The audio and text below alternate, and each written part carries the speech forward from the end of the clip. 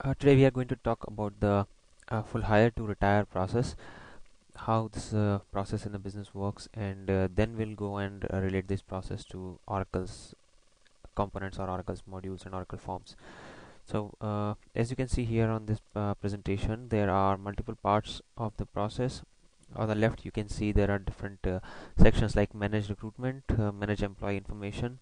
manage employee deployment and retirement, manage employee development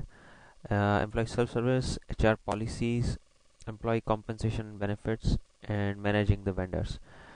So these are some of the high-level processes that an HR organization normally follows. As you can see, the start of this process starts from a requirement of an employee. Uh, this requirement can come from HR, or it can come from the hiring manager, or it can come from anyone who needs an, a headcount or an employee to work on a particular uh, uh position and this request is normally called a requisition. So first of all the process starts from raising a requisition. So a hiring manager uh, creates a new requisition for a new employee. This is normally uh, done automatic which is uh, using tools like iRecruitment, Virtual Edge and uh, there are many other vendors who provide these facilities. Uh, in some companies it is still manual wherein they send an email to HR saying that we do need this position to be filled up and things like that once a requisition is created a job posting is uh, created after that. Now this job posting again can be automated or it could be manual. The job posting basically means that the program goes and files uh, a new job posting on uh, dice.com monster.com and uh, various websites like that it could be internal uh, job posting website it could be external job posting website. Uh, also it could send email to various consultants who a company works with and then uh, tell them that uh, they need a position to be filled up with these these these kind of requirements or this skill set. So once all these things are done the process goes offline which is to find the correct candidates and uh, get their resumes and stuff like that once they have all those things then they identify the correct candidates uh, screen the candidates and after the interview process uh, all the negotiation and things they hire the candidate. And that's where the HRMS uh, kicks in. Hiring the candidates can happen in iRecruitment or tools like Virtual Edge and that is uh, followed by the onboarding process when the HR team will go in and create a new employee record in Oracle HRMS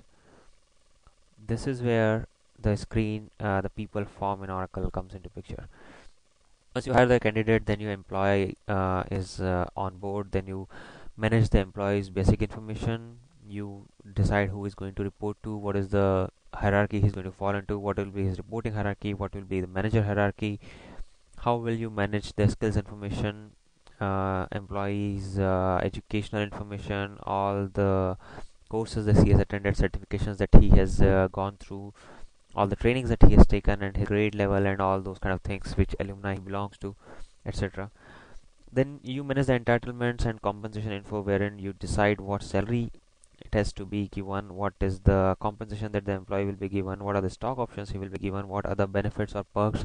and all these things defined like compensation itself is a big process and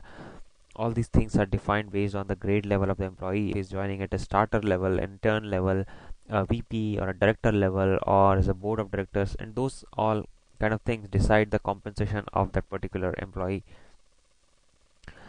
Then compensation is sometimes also linked to the performance information wherein you say which uh, employee performed well.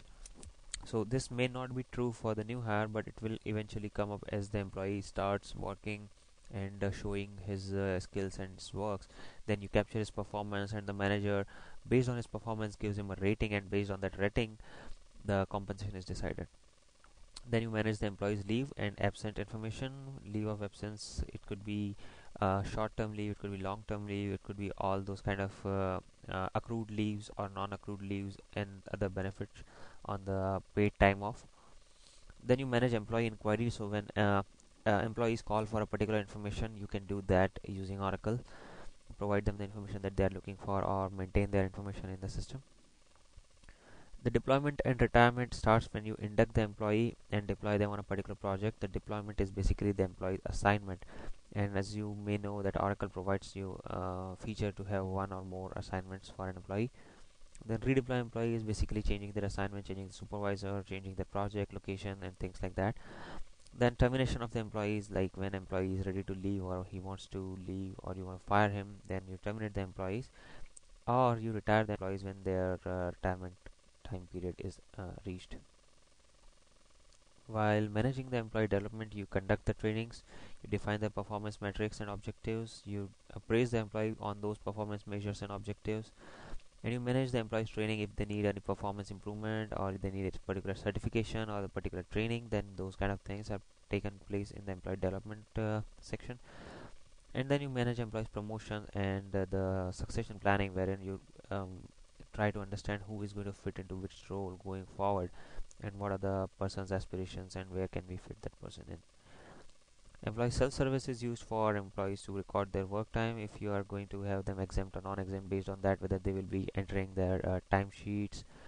or not and things like that are entered in the employee self-service. From employee self-service employees can also maintain their phone number their addresses their uh, uh, personal information contact information emergency contacts their skill sets their educational information. Everything can be entered using the employee self-service they can apply for a leave which will eventually need a manager approval based on the company's policies. And they can also manage all the dependent information like I mentioned. These are the uh, things that can be done in employee self-service. The HR policies are maintained like it could be in Oracle it could be documents in Oracle or it could be external website which is linked to other tools as well as from Oracle self-service where all the policies process guides and everything is hosted uh, payroll is processed uh, in the compensation of benefits module like uh, you define what all the earnings employee will have what all benefit plans he will have and you manage his taxes based on the address information manage the employee's stock option manage their healthcare benefits separation pay cobra severance all those kind of things and you pay them using the uh, oracle hrms system so these are all the main hr core uh, processes which start from recruitment and end till um, retiring the employee or firing the employee. So this that's why the uh, process is called hire to retire process. And as you can also see there are some other uh, things which are processing the job application which are sometimes done internally in-house or done by the vendors uh, processing of stock options uh, of course will be done by external vendors because uh, not all the companies will be able to process it on their own. So they have to outsource it to things like E-Trade or Fidelity and those uh, companies. And healthcare benefits of course will be provided by the healthcare vendors which will work in uh, conjunction with uh, our HR users and HR processes